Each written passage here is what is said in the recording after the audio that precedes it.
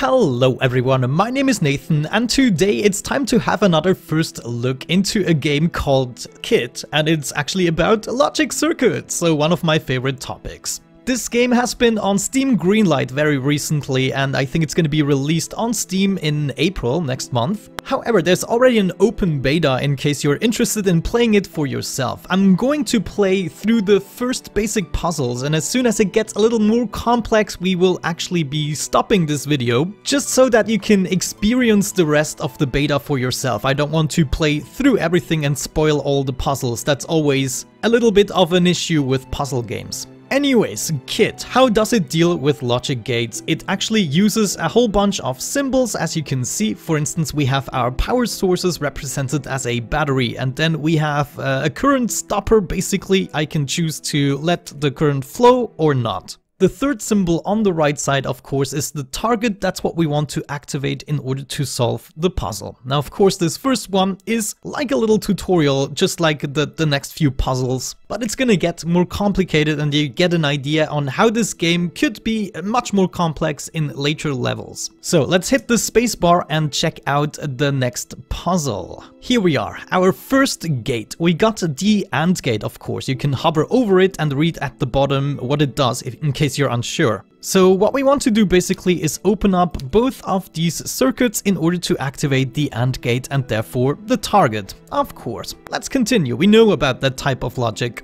Next, we are getting introduced into decisions, so I can choose to either let the current flow through here or through the other side. And of course we don't want to activate the bomb, that is logical, so there we go. And now, what the heck are we gonna do? Of course we don't want to activate this AND gate because it will activate the bomb. Therefore we need to take this current away and let it flow into the target. Alright, cool, cool. So far, so good. Next up, we have the laboratory. There we go. We already have three targets this time, and we are introduced into two new gates. This here is an OR gate, so either of these lines is gonna let the current flow through, and this one here is actually only active if both inputs are the same. So I think that that was an XOR gate, wasn't it? No, I'm confused. However, as you can see, both of these inputs are zero and therefore the current is flowing. That means we don't need to do anything else for the bottom here. Also, this gate here is a NOT gate, so it will invert the current. If we have a current flowing in, then there is nothing flowing out. Therefore, if we switch this around, we should be seeing some changes. This NOT gate is gonna let the current flow through, and also we have a little problem right here. We of course don't want that because both of these inputs need to be the same so that the current can flow through. Here we only need one type of input in order to make this work, therefore we are gonna switch this around and here we have all of the targets activated. So you can see how this can get more complicated as we go along here. I'm gonna continue to the next puzzle and here it is about finishing is not important. Okay, so we want to activate this AND gate. Here we have also a gate that is only active if both inputs are the same. So what if we switch this around? There we go, we have both inputs the same and... Oh, this was actually already the solution, I see. Of course, makes sense.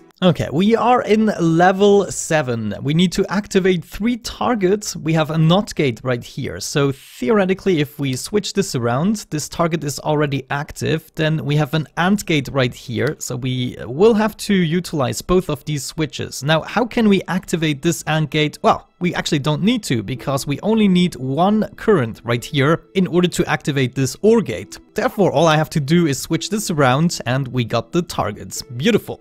Next up, we have the flip-flops, those guys. So if you activate the flip-flop once, then it will change its state until you activate it again. That means if I switch this around, you should see this flip-flop turning on and this flip-flop still being active. There we go. Actually, I need to activate this as well, but there we go. We have both of the lines active. However, what is this gate about? Let's read. This is a NOR gate, so active when no input is on. Therefore, we have to kind of switch this around. We have to activate this ones and this ones. There we go. The flip-flops have reverted their output and therefore the target is activated. Next up, we have level 9. Alright, we have a couple of bombs in the joint. Of course, we don't want to activate them. For instance, this current is pointing towards the bomb. Let's switch that around. Also, we have an AND gate right here that we want to activate. And something new here. Ah, this is actually an XOR gate. Active when exactly one input is on. Let me see, uh, the equal sign was active when both inputs are the same. And we also got a NOT gate right here, so we do not want to switch this around. We want to leave this active at all times, otherwise the bomb is gonna explode. So I only need to do things with these two guys. So if I switch this around, then we have this one activated. And if I cut the current right here, then this should work out. Beautiful. Oh yeah, it's still very easy, still very easy. However, it will get more complex.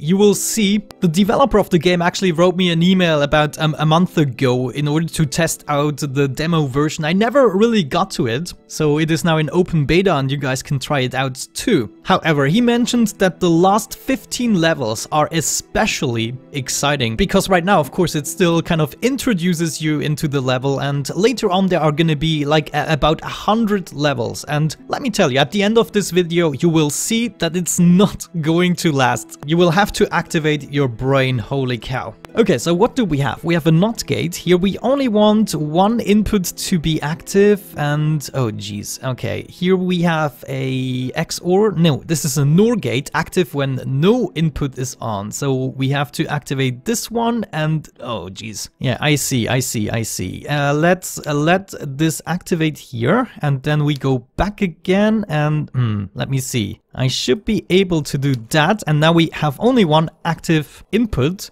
that means this is on and it goes through here. Okay, then we want to deactivate this. Does that work? Let me read that again. Uh, what does that? NOR, active when no input is on. So we have to go and do that. No! Let me see. We have to deactivate the upper gate, something like that. And now we have to make sure that this isn't on anymore. So I'm gonna do that and that. There we go. Now this isn't on. Oh no, this has to be on. Let me see.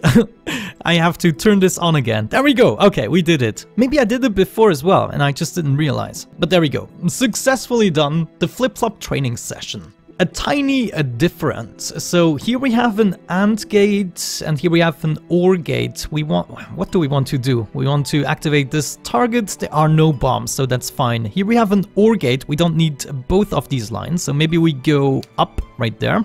And we could go through this OR gate and up there. And we have the AND and OR gate activated. No problemo. That was an easy one. Sometimes you can just see the solution. Oh, okay, here we have our first lock, and these guys, oh man, oh man, they are not that easy. So the lock just reset. We have up and down, then we have middle, down, we have down, we have up. So this is our combination. First of all, up and down. So let's try to activate those. We're gonna activate um, up and down. So all we have to do is do that and we have up and down activated. So we can release that again because we have flip-flops going on here. Now we only want down, I believe. No, middle and down. So we want to switch that around, but not the other guys. No, actually this one. So if I change the state of the upper and the middle one, we should have our second combination. There we go. Now I only want the down, right? So we are going to do that and now I have only down and now I only want up. So we have to switch this guy and this guy there up.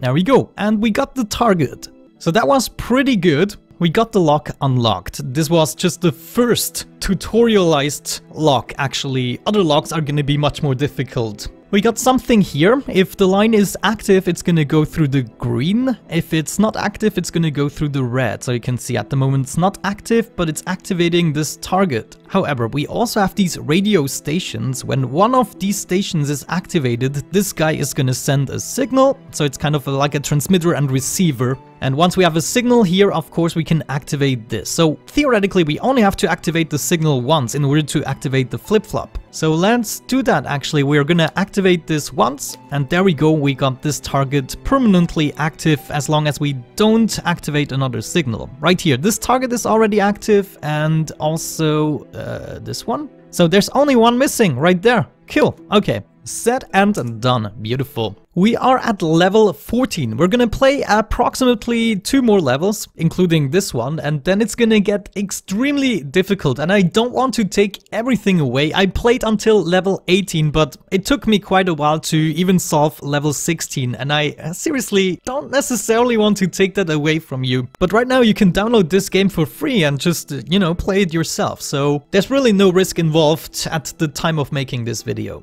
Okay, we got something else here. This guy, uh, once active, stays active for freaking ever. Okay, that's good to know. This guy here, when both inputs are the same, it's active. We have a NOT gate that needs to be active. Okay, now, ah, I see the problem. If I activate this and the current is gonna flow through here, then it's gonna activate this AND gate and the bomb is gonna explode. So the first thing I have to do is switch this around and make sure this guy is gonna be activated. So this NOT gate is not active anymore. And now I should be able to do that. And oh yeah, that was actually already the solution. Cool. Now we are at, uh, what, puzzle 15 or so out of 100 in total. I'm not sure if 100 is when it's released or right now. However, there will also be a sandbox mode where you can actually make your own puzzles with all of the gates, etc, etc. Anyways, this is going to be the last puzzle for now. If you're interested in this game, also go to the Steam Greenlight page and check out what's new right there. Okay, so I want to switch this around. That would mean it will activate this bomb. So we're gonna deactivate this current. Then, let me see, we want... What do we want? We want to not activate this bomb. That means here, uh, when both inputs are the same, we want to make sure that we switch both inputs. If I switch this around, then this current is gonna go away, but then we need to make sure that the current can flow through here and there maybe? But we would need this also to be activated. But looking at this, this can also go through here. So we have this AND gate active. So if I deactivate this line, then this line is going to be active and therefore the bomb is still not gonna explode. Yeah, there we go. And we even got the target. That was by accident. But of course, it does make sense looking at it now pretty cool. So let's already have a look at the next puzzle. However, we're not gonna solve that. It took me about half an hour to actually solve that lock combination because you can see it's a long combination and also you have to use a radio signal and not a direct input in order to influence those. Additionally, you have a second target that has to be active. Now what I didn't observe is whether or not this has to be active on the last combination or all the time, because this might be a problem. But yeah guys, with that out of the way, I'm gonna wrap up this first look. Thank you so much for watching guys, I hope you enjoyed it. Have a great time and hopefully I'm going to catch you in the next video. Bye bye.